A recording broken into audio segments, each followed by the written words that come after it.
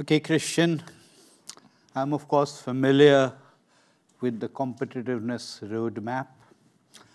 Uh, your presentation was based on that. You added a little bit to it, modified it a little bit. So my first question is an easy question. And that is because many people in the audience may not be familiar with the competitiveness roadmap. And uh, the reason the government, broadly speaking, welcomed this because it is always useful to have an external view of what is going on. What has been the reception to the competitiveness roadmap, particularly in some of the states, because much of the action mm. is in the states? So that's the first part of the question. The second part of the question is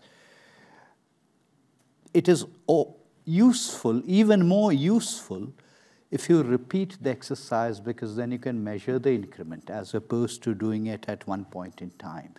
So is it the plan that this will be repeated in subsequent years?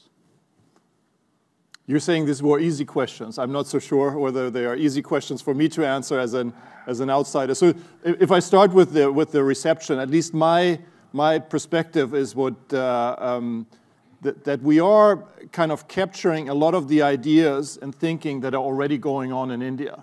So we're not kind of going against uh, uh, uh the flow. And I think, uh, you know, Rick, you, you, you, talked particularly about the role of the states and also of the, uh, uh, the city metropolitan areas.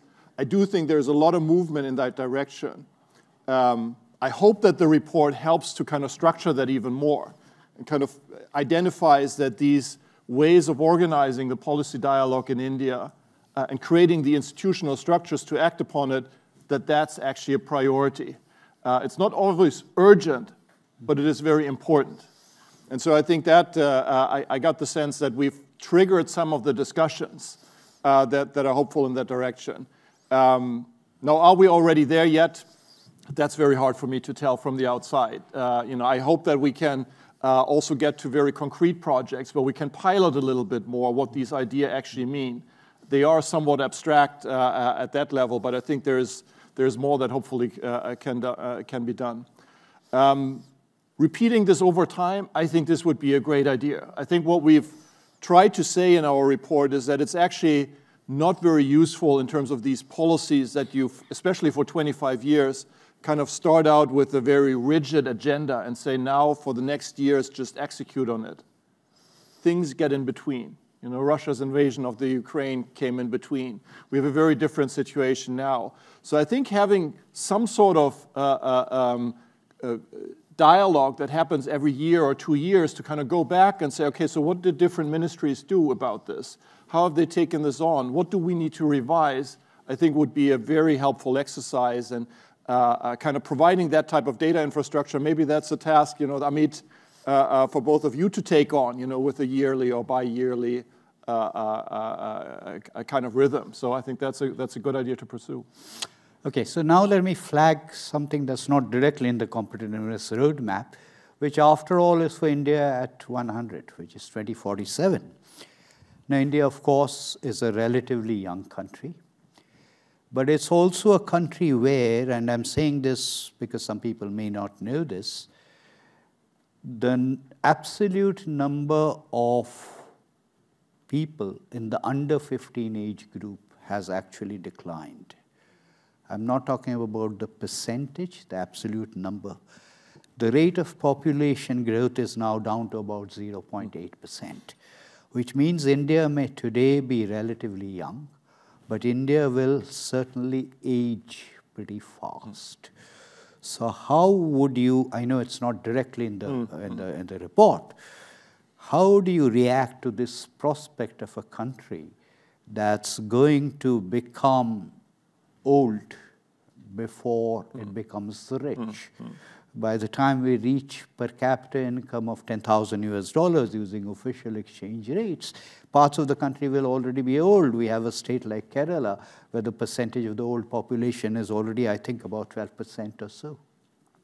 No, absolutely. And I think what that means is that despite the great future that India has ahead of itself, it has no time to waste. And the challenge is, is that, you know, how do we create in a political system enough urgency to kind of see these trends, uh, uh, trends ahead of you. I think that is, that is very difficult. You know, we see it with climate change, we see it with other issues. Um, and I, India needs to think about how can it work these type of issues into your institutional architecture so that there's somebody who worries about this now and kind of can influence what others are doing. That being said, you know, I mean, you're, you're absolutely right to point, point out the, the, the trends that India is facing. Comparatively to many other countries, you still have much more of a window to act. You know, I mean, I think we, we know that obviously in China, I think the, the aging is much more dramatic and it's imminent now. Uh, we see in, in, in, Europe where I live, live, you know, I mean, I think we're already seen by many as a museum that's kind of irrelevant for the future. Um, so I think you have a bit more time, but that doesn't mean that you can't ignore it. I think it's again, you know, how do you start acting early? And that'll be much easier than for India to kind of be, be prepared to that demographic change. Also, what it means is, and I'm not asking you to react to that, also, what it means is that we have planned for a large number of schools, assuming a large number of young population. Now, some of those schools will have to be rationalized and closed down, and it has begun to happen in some of the states. Now, let me move on to something else, which you haven't talked about, and it's difficult for you as an outsider to talk about, which is the quality of data. And the reason I'm flagging this is uh, you talked about labor participation rates. The labor participation rates come through surveys, and many of our, much of our data comes through surveys. You take something like female participation in the workforce. Mm. Of course, there's a gender issue. Of course, there is an issue of getting more people into the workforce, as you've rightly flagged. But I look at something like female work participation rate, there will be a figure of about 30%. Mm. But that's because the survey does not properly capture particularly casual employment. And the ILO itself said, says that a corrected figure would be of the order of 46%. Or you mentioned inequality, which of course is based on Amit Kapoor's work. But Amit Kapoor's work is based on the World Inequality Report, which actually has data for 2011-12.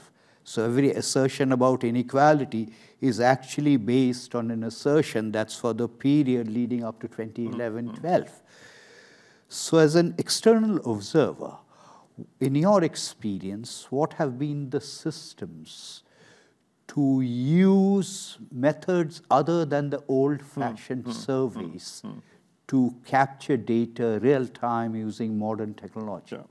No, I think you're, you're pointing out a, a, a, real problem, uh, you know, that we see. Partly it's the availability of data, and partly it is the way that the data is collected with a perspective that might not perfectly fit India. You know, whether it's female uh, workforce participation, I think, you know, for example, one of your colleagues recently argued around the stunting data. You know, is yeah. that actually telling us the right story about India? And so we urbanization is another one. You know, I think we, we are partly flying blind. I mean, we try to use for the report the best data that's available, but that best data might not be particularly uh, uh good. Uh, we just heard, uh, Kamal, the discussion about regions. You know, I mean, we use the periodic uh, labor force survey uh, in order to have very granular structural data on sectoral employment by district. But we also looked about the data across years, and sometimes there's huge differences, which makes you a bit worried about the quality of that data. So there is a need to act. I would think that India is actually in a very good position to use its digital infrastructure to address these this type of issue. Because I've seen in other countries, and you know, for example, in Vietnam, that they have been able to increase the quality of data quite dramatically over the last 10 years or so. I see very little reason for why India shouldn't be able to do that. Yes, you're a much larger and more complex society and so on, but in some other aspects, you have better tools in terms of digitalization to do that. So making that a priority, I think, is really important. Because, as the last panel also showed, you will need to make so many choices that are very region and sector specific, and to make those choices right, kind of broad data that might only be 80% right is not very helpful. You need to have very concrete data. So I think if, if, if uh, you know, Niti Aayog and, and, and, of course you as the advisory council to the prime minister play a very important role, I think, in really pressing for this and trying to, uh, to do more in that direction. Also on the data, and um, taking you into something that you have not talked about, Nirvikar has actually, that you've done some work also on the states. Mm. So when I look at the states, I have the GSDP data, the gross state domestic product, which is not necessarily the same as gross income. Mm. It's a different matter that I don't get data on income for a state. So Punjab, the GSDP would be low, but Punjab and Kerala, two extreme examples, they are driven by remittance income. So it would not mm. show up in the GSDP. So do you use GSDP or is there some other surrogate indicator that you use when you look at the states? No, we, so, so, so I think we, we've barely scratched the, uh, the surface, I would say, at looking at the states. And, uh, you know, yes, we've seen these, these disparities. We've tried to, again, look at the data that exists. But I would see that as a very important next step to really say, you know, how can we take this framework, also the analytical framework for the diagnostics that we apply to India as a whole, drive that down to individual states and try to get more to closer assessment on what the issues are for specific parts of the country. Okay, now let's move on to employment. Uh, we know that the employment elasticity of growth mm. has declined in India. About two decades ago, it used to be about 0.4, it's about 0.2 now. And part of the reason, of course, is that manufacturing, or perhaps all of growth, is no longer as employment intensive mm. as it used mm. to be. So, do you have any specific thoughts about what should be done to increase employment? And let me add a follow up question to that. Enrollment rates in education have gone up. Mm. They've gone up across all the states. So is there an issue of a lack of correlation between education and skills or mm. skills as mm. valued mm. by the market? Hmm. So do you have thoughts on A, employment generation yeah. and B, skill development? So absolutely, I think on employment generation, I think uh, this was a huge learning for, for myself because usually in this competitiveness space, we think about productivity, we think about innovation, we think about the, the shining, most sexy part of the economy. Now, what I tried to point out at the beginning of my talk is that at that end, actually, India works quite well, has still more work to do. But the problem is much more what do we in, do in the lower productivity sectors, the entry level jobs, that might actually, on average, reduce your average productivity because you're bringing in people that, that have lower productivity than the average person.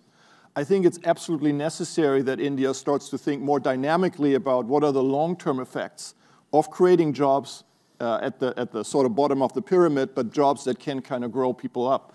And the, the roadmap tries to point out where might some of these opportunities be, where we actually have lower entry barriers for lower skilled people, and partly also females. So we try to look at those type of sectors. Um, that is a very different framework from what we usually have done in our competitiveness analysis, which are very much about raising productivity uh, uh, directly. And it is one, again, that I think many countries face. You know, especially, this is the same discussion that we're having in Africa about economic development. How can we shift the mix of sectors that we work with? So much more about healthcare, logistics, even in education. I think, you know, agriculture is a very important topic. You talked about the changes within agriculture that are absolutely critical. Textile manufacturing, you know, I mean, I think why, why is, has India followed back there? It might not be as sexy, but it's actually very important to figure out um, um, what can be done. So, so I think there is a huge focus on the employment generation element. Um, we need to, to, focus on that rather than the overall GDP. Now, on, on education, I think the challenge is, and, and for that, the education sector, I think, is a very good example. India has improved sort of its inputs and in education, kind of the en enrollment rates. Um, but it seems like the output of the education system, and again, data is kind of not, not, not very robust, but at least doesn't seem to have improved. It seems like the educational outcomes for students kind of has suffered, especially now, of course, through the pandemic, which has been devastating for educational outcomes across the world. So we are faced with a situation that the vast majority of the people that are entering the labor force every year are not the IIT graduates that will work in IT companies where the Americans are investing or the Europeans are investing but actually people where Indian employers say, you know, these people are basically unemployable. I need to start from zero. And so I think this is a huge topic, uh, I think, for, for Indian policymakers that will really determine uh, things for years to come because we know from our studies that what happens early on uh, as you enter the labor force has a long-term impact on your potential career path through the entire life, lifetime of your, of your job tenure. In sort of passing, pre-COVID, if an economy is growing at 7%, and we do not believe that productivity is growing at 7%, then some employment generation must be taking place. Mm. It perhaps is not the 10 million that one wants, mm. but it cannot be 0 million either. Right, it's right. probably going to be about 6 or 7 million.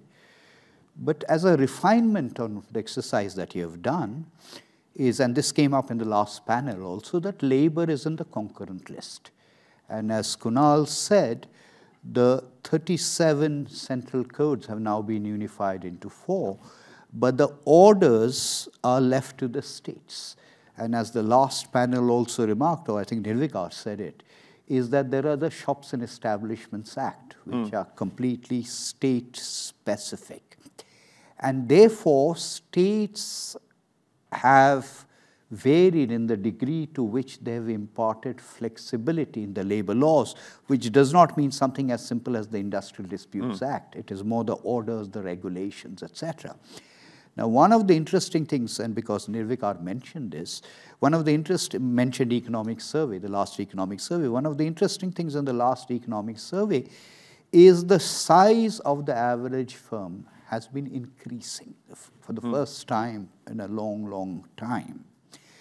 So, in future exercises, do you have any plans to refine the labor part of it further and look at the way states have been doing various things? I think that would be great to, to, to do so. One particular aspect uh, related to what you just said that we recommend in the report is really to look at what's, what's happening to firm size and productivity and what can we do in India in order to enable more growth of kind of small, medium-sized companies. Mm-hmm. Uh, because I, you know, the, the data that exists is very dated, but it seems to suggest that Indian companies get very old, but they don't grow. They don't get better. Uh, uh, and, and, and that's the dynamism that, especially here in the Bay Area, but also in more advanced economies, in general, comes from companies that grow or that disappear from the market. And we need better data. We need to understand what are the critical drivers.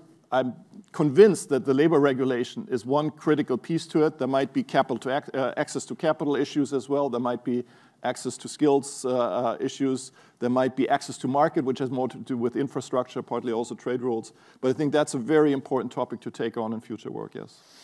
Well, traditionally, Indian companies have not exactly disappeared. And I want to quickly mention, for those who do not know, the Insolvency and Bankruptcy Code, which has been very important because it's the first time promoters have been forced to exit. But let me quickly draw you in now on the clusters, because mm. you worked also on the clusters. So tell us a little bit about the clusters. Because throughout the world, growth has been driven by specific clusters, right. as so right. in India. So right. what is what is your sense of what's going on? So, so absolutely, and you know, as you said, I think this is not a new idea by any stretch of the imagination. Uh, I think it is an idea that, uh, as a way to understand the economy, has become maybe even more relevant now because we are becoming more knowledge driven. And as, as was pointed out in the last panel, this is enormously concentrated also in India and many countries, others as well. The economic activity is kind of in specific places where we have co-location of skills, co-location of related activities, and so on. Uh, so it's just as a way to understand the modern economy, one has to realize that firms do not operate in isolation. It's not the star CEO alone or the technology there, but it operates in an ecosystem, and at least part of that is kind of geographically anchored in a specific region uh, and so on. We've seen that very clearly for India as well, and you know, I think particularly when we looked at district level data and looked at specialization, you could see levels of concentration of specific sectors that are very high. A few locations dominating India's output in specific industries. And you see that the nature of regions is quite different by their composition of these type of clusters. Again, these 10% of districts that, that were mentioned on our map. These, these are primarily manufacturing clusters. Well, it's manufacturing, but it's also business services, it's logistics, okay. it's finance. covers the entire, uh, entire economy. These strongest regions kind of are more in advanced cluster categories, but they also have a broader portfolio of activities that's kind of uh, uh, uh strengthening uh, uh, one another. Now, for policymakers, you know, the, the, the, the, naive response to that observation for many years was let's create clusters. So if it's so good to have these clusters, we want also some of them. I think what we've learned is that that quite often doesn't work that easily because this is an ecosystem, this grows. However, what you can do, and I think that's what we're suggesting in the roadmap, is to recognize that you can take a cluster perspective to your economic policy. So a better integration of, for example, FDI attraction, business regulation, infrastructure investment, skill upgrading, from the perspective of a specific cluster category, a set of industries that are located in a region. And that's what's often missing, not only in India. We have kind of isolated efforts that try to do all of these things, but they are not really targeted and they are not really integrated. So that's where I would see the future for, for, for a cluster approach in India. It's not just about a network of very small artisan companies. That's also fine, but that's not changing the dial on, on a national level but it's about using it as an instrument to better integrate and coordinate policy making uh, and really recognize that it's about different locations within the country that will kind of compete and build their specialization pattern. And of course, uh, the PLI has been mentioned. The phase manufacturing program and PLI are now beginning to result in a different kind of cluster completely, with India becoming part of the global supply chain. Mm. But Amit, what are the rules? Is Christian allowed to take questions from the floor and how much time? We have five minutes. Now, by the way, the report is there on the website. Yeah. So I would recommend, on various websites actually, so I would recommend that people read the report. Yes, Kunal, I saw Kunal's hand. You can raise your voice. Yeah, so, uh, so I always have this uh, predicament between talking about clusters and talking about diversification. So it always seems to me that clusters is like highly focused, localized economies in a particular region, uh, whereas uh, what most of the research that I come across, urbanization specifically, talk about greater diversification you have, you move from one to another, improve your complexity over time, that leads to better yep. economic progress. So I see a, a, a, a dichotomy I'm not able to make sense of, right. which is what right. my question is right. to you. I, I, absolutely, and I, I think it's uh, you, are not alone in, in, in, kind of you know uh, trying to get your hand around that. I think it's a completely false dichotomy. I think what we're seeing is that more advanced locations, also in India, are able to support a broader portfolio of strong clusters. It doesn't mean that they are not specialized at all, but instead of a, a, a weak location, which is maybe strong in one or two areas, an advanced region can support four, five, six areas. But within these, it actually has these groups of related and collaborating industries and sectors. So it is not at all a dichotomy. I think it's really kind of understanding uh, advanced economies means understanding kind of that they become a portfolio of strength in specific areas. It's not that they have abandoned strength and kind of are average on everything. Uh, and, and I think that's a very important kind of idea to, to, to get through. Yes, the gentleman there. Yes. I'm Prakash Abalkar. Um, my question um, is, are we barking up the wrong tree? And let me explain. Um, it, traditionally, it has been emphasized that the lower categories economically of people need employment in manufacturing, and that is supposed to be the one thing they can do very well. Um, I've long argued that the urbanization and the globalization has created opportunities for services vastly at a faster rate than manufacturing. And it's not because of lethargy in manufacturing, it has to do with the change in the character of employment. And the best example of that, um, other than the fact that in cities, uh, gig work and uh, business process automation and so on have all created more jobs than have been lost through the movement of manufacturing. The best example is the recent example in the US, where we were so concerned about um, jobs, and the greatest impact on jobs and the, the unemployment and employment generation numbers have been in services. And it is, you might say, well, that is because it's a developed economy. And I would say, no, it is because the nature of business, nature of employment, and the nature of production has changed. So Uh, my question, therefore, is are we barking up the wrong tree when we keep emphasizing that the real way to create jobs is in manufacturing? Yeah, no, no, absolutely. I think this was one of the key issues that we also discussed within the course of, of our project. And I fully agree with you. I think we need to get away from our obsession with manufacturing alone. I do think there are opportunities in manufacturing. And I mean, you know, we heard about Apple and, and telecommunication. I think renewable energy equipment, I think, is another area where good jobs can be created. But if you look at our report, you'll find that a lot of it is actually about services. It is about looking at those type of opportunities, partly also because one of the critical things that made manufacturing so attractive in the past is no longer true. And that is that it was the entry level for low-skilled people. I mean, if you now go into a manufacturing plant, a modern manufacturing plant, the skill levels are actually quite high. You know, you can't just go in there without any degree or experience. And so I think we need to re rethink that. And our argument was not to abandon manufacturing now, but you have to look at a broader portfolio of activities, including services, in order to create the job opportunities that India needs. Can, can you carry this conversation on offline? last question, I think I saw another hand. Yes, please. Two last questions, here and then here. Uh, my name is Walter Mark from uh, SLAC National Lab up on the hill. I just want to make one comment. The education system in India or British Crown Colony before always focused on the elite education. I believe the quality of the worker would drive the economy. So I would suggest that pay a lot more